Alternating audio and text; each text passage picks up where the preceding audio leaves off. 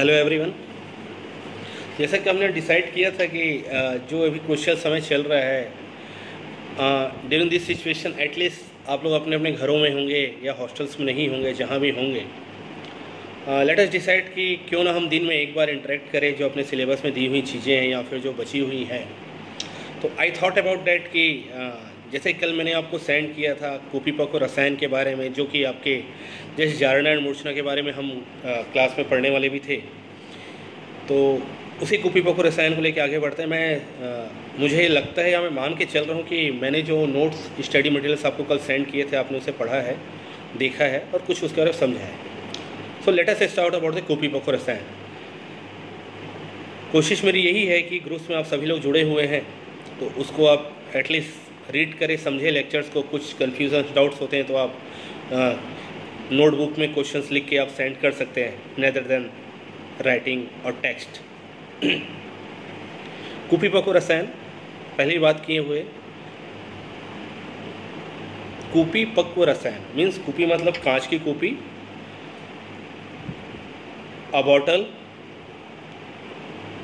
which is upper portion is the narrow end lower portion is the broad. और जिसका उसमें पाक किया जाए कूपी में पाक किया जाए। तो उसके साथ एक शब्द जुड़ा है डेट इज़ कॉल्ड द रसायन। कूपी पक रसायन, कूपी पक मतलब कूपी में पाक करके बनाई कोई चीज़, ऐसी औषधि या ऐसी मेडिसिन रसायन से हम समझ सकते हैं कि यह जरा व्याधि विश्वंशम भेषजम तत् रसायन ओके तो यह जरा व्याधि विध्वंसम भेषजम तत्, जो जरा व्याधि का जो नाश करता है, जो औषध, उसे हम रसायन कहते हैं। It is a wonderful mercurial preparations mainly it is prepared by the पारादैन गंधक शोधित पारादैन गंधक बहुत से मल्टीपल यूजेस हैं। तो आपके सिलेबस अकॉर्डिंगली हम सोचेंगे कि बेसिक कंपोनेंट्स क्या हैं? कॉपी पोको रसायन अगर हम कोई कॉपी पोको का निर्माण करना चाह रहे हैं तो इसमें क्या होता है? है ना? तो कॉपी पोको रसायन को अगर मैं सबसे पहले वर्णन में बात करूँ, किस ग्रंथ में आया है तो रस प्रकाश सुधाकर ने इसे, जिसके लेखक यशोधर भट्ट जी हैं उसमें उदिया भास्कर रस के नाम से आया है कुपीपोक रसायन का सर्वप्रथम वर्णन।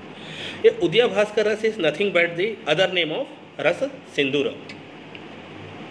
तो फ़र्स्ट जो ग्रंथ है जहाँ कुपीपोक रसायन का हमें नाम मिलता है that is Ras Prakash Sudhakar. That is the author of this book is Yashodhar Bhatt by the name of Udaya Bhaskar Ras. उसके बाद से परंपरा चलने लगती है कुपीपुक रसायन के बारे में। कुपीपुक रसायन में बेसिकली हम देखें तो थ्री कंपोनेंट्स होते हैं। सबसे पहले जो बात हमने आपको समझाई थी कि मड स्मेयर्ड इसमें कपड़े होते हैं कॉटन के क्लॉथ होते हैं, मिट्टी से हम उसको रैप करते हैं, किसी बॉटल को ग्लास को, और उसके अंदर कुछ पाक करके मेडिसिन बनाई जाती है। With the help of kajali Kajli की परिभाषा आप लोगों को सब पता है, मैं मान के चल रहा हूँ। कजली के फाइनल टेस्ट क्या है, आप लोगों को मैं मान के चल रहा हूँ। अब बेसिकली इसमें थ्री चीज़ होती है है ना? पूर्व कर्म प्रधान कर्म एवं पश्चात कर्म। अब किसी भी मैन्युफैक्चरिंग प्रोसेस में जाने के लिए हमें तीन ही स्टेप चलते हैं। पूर्व क्रम को हम प्री ऑपरेटिंग प्रोसेस भी कह सकते हैं, प्रधान कर्म को मेन ऑपरेटिंग प्रोसेस भी कह सकते हैं, पश्चात कर्म को हम पोस्ट ऑपरेटिंग प्रोसेस भी कह सकते हैं। तो today I am discuss about the purva karma. पूर्व कर्म कॉपी पको रसायन के लिए हमें किन किन चीज़ों की आवश्यकता पड़ती है, जो मेन ऑपरेटिंग प्रोसेस में आवश्यकता पड़े। सबसे पहले आपको ध्यान और आवश्यकता होना चाहिए collection and authentication of raw material use for the manufacturing of any copy पको रसायन मेडिसिन मतलब संग्रहण करना या उसका ऑथेंटिकेट करना सबसे पहला। तो जैसे पर्टिकुलर आप जैसे अभी तो हम कॉमन प्रोसेस बात करें, आगे आप रस सिंदूर पढ़ोगे, आगे आप मकर ध्वज पढ़ोगे, समीर पन्नक पढ़ोगे, ये भी एक कुर्बीपक रसायन है। इसमें जो जो घटक द्रव्य है, उसका कलेक्शन करना, उनको पहचानना, इसके अंतर्गत आएगा। ठीक है? स्टेप बाय स्टेप हम आगे देखेंगे। अब कलेक्शन ऑथेंटिकेशन में इंपॉर्टेंट चीज़ है, अगर हम इन केस में एक एग्जांपल लेके चलता हूँ आज के लिए डेट इज़ रस सिंदूर। रस सिंदूर के निर्माण में जो सामान्य क्रम है, वो कहता है कि समान भाग पारद लेना है और समान भाग शुद्ध गंधक लेना है रस सिंदूर निर्माण के लिए। समान भाग पारद लिखा और समान भाग गंधक। अब कलेक्शन और ऑथेंटिकेशन में आपको जो सबसे प्री मोस्ट इंपॉर्टेंट थिंग है that is how you convert समान भाग पारद एंड समान भाग गंधक फॉर द प्रिपरेशन ऑफ़ कुपीपक्व रसायन। डेट इज़ सर्वप्रथम आपको इसमें क्या करना पड़ेगा? पारद का शोधन करना पड़ेगा। देन आपको गंधक का शोधन करना पड़ेगा। देन शोधित पारक एवं शोधित गंधक का मर्दन करना पड़ेगा, जिससे क्या निर्माण करेंगे आप? कजली यस कजली का निर्माण करेंगे। तो pre operating process most important thing है किसी भी पकी पक रसायन के लिए कजली निर्माण। क्योंकि तो शोधित पारक, शोधित गंधक से हो सकता है। उस पर दूसरे धातुएँ भी ऐड कर सकते हैं, जैसे मकर ध्वज के केस में आप स्वर्ण मिलाते हैं। रजत सिंदूर के केस में आप रजत ऐड करते हैं, ताम्र सिंदूर के केस में पारत गंधक के साथ आप ताम्र ऐड करते हैं। So this are the some different type of things okay fine अब अब अदर बात करते हैं कलेक्शन पहला, अब आपकी कजली रेडी है। अब आपको मेन ऑपरेटिंग प्रोसेस के लिए पाक करना है। तो वो किसे? पहले आपको आवश्यकता पड़ेगी सबसे पहले ग्लास बॉटल की। ठीक है? अस्सी सी कहते हैं जिसे हम माय डियर फ्रेंड्स कभी भी इसको बियर बॉटल कह के आप संबोधित मत करना। ओके देन अस्सी सी क्या होती? है नैरो होता है, उसका अपर पोर्शन नीचे ब्रॉडर होता है। It exactly resembles with the beer bottle but इसको आप अपने ट्रोलॉजी में इवन जब कोई आंसर लिखे तो इस शब्द का प्रयोग न करना। अस्सी सी ही कहना है इसको। अब वो एक बॉटल लेना है हमें। उस बॉटल को सबसे पहले अंदर से साफ़ करना है। स्मेल तो नहीं आ रही अल्कोहल की, वो देखना है हमें। उसको सुखाना है। सुखाने के बाद सेकंड मोस्ट इंपॉर्टेंट थिंग जो कूपी पक रसायन में, कूपी में आप अपनी औषधियों को क्या करते हैं? पाक करते हैं। तो कूपी को हमें इस लायक बनाना है ताकि वो ज़्यादा टेम्परेचर भी सहन कर सके। उसके लिए क्या करेंगे आप? कपड़ मिट्टी करेंगे। मड स्मेट क्लोथ लेंगे आप। जनरली मैक्सिमम कूपी पक रसायन के सात बार कपड़ मिट्टी करने कहा गया। सेवन टाइम्स रैप्ड कपड़ मिट्टी। फाइन कैसे करते हैं? प्रैक्टिकल्स में हम देखेंगे वो बट शॉर्ट में बताऊँ। लेते हैं हम। एक वो उसके साइज़ के बॉटल के साइज़ का हम कॉटन लेते हैं। मुल्तानी मिट्टी में डीप करते हैं और उस पर रैप करते हैं एक बार। एक बार किया, फिर धूप में सुखाया, दो बार किया, फिर धूप में सुखाया, ऐसे हम सात बार करते हैं। तो अब सात बार सूखने के बाद आपकी कूपी भी रेडी है पाक के लिए। अब तीसरा क्या आवश्यकता पड़ेगी आपको? ईंधन की मीन्स बालूका यंत्र की। अगर आप ट्रेडिशनल मेथड ऑफ़ फिटिंग से जा रहे हैं तो मुझे, मैं जा, मान के समझ रहा हूँ कि आप लोग को बालूका यंत्र पता होना चाहिए, जिसमें कूपी पोक रसायन का निर्माण होता है, या फिर आप पढ़ लीजिएगा। बालूका यंत्र से नहीं करना चाह रहे तो फर्नेस होती है तो फर्नेस होती है वर्टिकल मफल फर्नेस उसमें हम निर्माण करेंगे नो इशू अब वर्टिकल मफल फर्नेस हमारे पास ईंधन भी रेडी है जो पाक करने के थर्ड जो मोस्ट इंपॉर्टेंट चीज़ है कूपीपक और रसायन के बीच बीच में कुछ परीक्षाएँ होती है, जिसको हमें देखनी पड़ती कि हमारा प्रोडक्ट सही तरीके से बन रहा है या नहीं बन रहा है, या फिर उस प्रोडक्ट सही तरीके से बनने आए तो हमें डिसीज़न उसमें हमें आयरन रॉड की आवश्यकता पड़ती है जिसको हम शलाका कहते हैं, आयरन रॉड, है ना?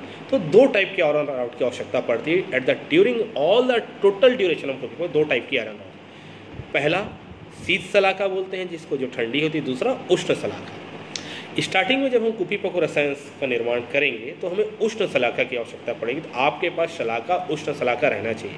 प्रोसीजर स्टार्ट करने में, ठीक है? बताएँगे क्या काम है, आगे बताएँगे मेन ऑपरेटिंग प्रोसेस है इसका। अब आपके दो चीज़ होगी शीत सलाका है, उष्ण सलाका हो गई आप at the same time third आपकी मोस्ट इंपॉर्टेंट चीज़ है, जो इसी क्रम में आती है आपकी, वो कॉर्किंग जैसे क्या होता है कुपी पॉक रसायन में, इसमें हमेशा आपको पहले ही बता चुका हूँ, जो फाइनल प्रोडक्ट है, कहाँ मिलेगा आपको? नेक में मिलेगा। जनरली नेक में, जैसे मैं रसिंदूर का एग्जांपल ले रहा हूँ नेक पे मिलता है। तो एट द सेम टाइम जब प्रोडक्ट फॉर्मेशन हो जाता है तो हम ऊपर से उसको कॉर्क करते हैं। मतलब कूपी के मुख को बंद करते तो कॉर्किंग की तैयारी करके भी आपको रखना है एट द सेम टाइम तो इतनी सारी बेसिक कंपोनेंट्स की आवश्यकता पड़ती है। यहीं पे मैं आपको पाँच मिनट समय लेना चाहूँगा। बेसिकली जो कूपी है, उसमें फाइनल प्रोडक्ट हमें कहाँ कहाँ मिलेगा? फाइनल प्रोडक्ट जैसे मैंने कहा, कूपी के नेक में मिलेगा, पहला, कूपी के बॉटम में मिलेगा, दूसरा या दोनों में मिलेगा, ऊपर भी और नीचे भी। मैक्सिमम कंडीशंस में जनरली ये नेक पे मिलता है। जैसे उसका एग्जांपल क्या हुआ आपका? रस सिंदूर मल्ल सिंदूर, ये हमेशा नेक में मिलते हैं। यानी इसको हम कंठस्थ कहते हैं। कंठस्थ, ठीक है? तलस्थ यानी क्या हुआ? बॉटम में मिला। उसका बेस्ट एग्ज़ाम्पल है समीर पन्नगरस, कंठस्थ। तलस्थ सॉरी कंठस्थ, रस सिंदूर मकर ध्वज एंड मल सिंदूर। तलस्थ में आप किसको मैं एग्ज़ाम्पल समीर पन्नक रस है ना? उभ्यस्त उभ्यस्त यानी ऊपर भी और नीचे भी, यानी तलस्थ भी कंठस्थ भी। डेट इज़ अभी आपको क्या बताया मैंने? कंठस्थ में क्या मिलेगा? रस सिंदूर है। सॉरी रस सिंदूर है, मल सिंदूर है, मकर ध्वज है, ठीक है? और जो कंठ है, कंठ में आपको क्या, नहीं सॉरी बॉटम में आपको क्या मिलेगा? समीर पन्नक रस मिलेगा। ऊपर नीचे दोनों क्या मिलेगा? डेट इज़ पुंद्र पूर्ण चंद्रोदय रस, नाम के एक रस है, जो ऊपर भी मिलता है, नीचे भी मिलता है। ठीक है? फाइनल प्रोडक्ट्स की बात कर रहा हूँ, जो मेडिसिन के लिए यूज़ होनी है आपको ठीक है?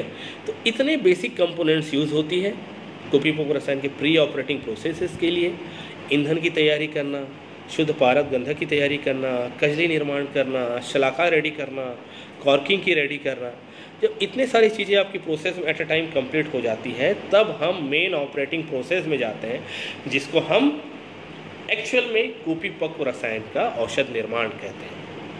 आई थिंक आज ये दस मिनट का क्लास है, पंद्रह मिनट का क्लास रखा गया है आप लोगों के लिए।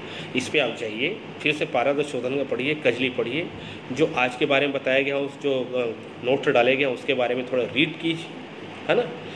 Further will be process for the main operating process जो कि बहुत इंपॉर्टेंट ऑपरेटिंग प्रोसेस है मैं मैं, मैं चाहूँगा कि आप लोग नेक्स्ट लेक्चर्स में ज़रूर इसका सूर्य नहीं होगा तो मेन ऑपरेटिंग प्रोसेस के दो लेक्चर्स लूँगा शॉर्ट में टेन टू फिफ्टीन मिनट्स के जिसमें आपको हम अग्नि के पाक क्रम के बारे में बताएँगे कौन से लक्षण कब मिलते हैं ये बताएँगे क्योंकि वो बहुत ही इंपॉर्टेंट प्रोसेस है and that entirely process also used for the preparation of other Kupipok rasayan formation. So temperature of heating important there, temperature of duration important there, and what are the difference signs और जो लक्षण समय मिलेंगे उसके बारे में भी हम डिस्कस करेंगे। Next class, good day.